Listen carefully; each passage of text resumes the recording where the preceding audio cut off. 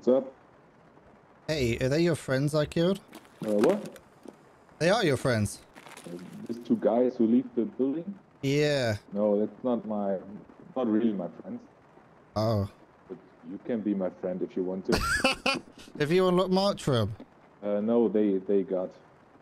Uh, So I, I need kills on dorms. do you want to fight then? If you want to. I don't mind, dude. It's your shout. Just know there's two dead bodies on the stairs Not- outside. Not the best, but I, I give it a try.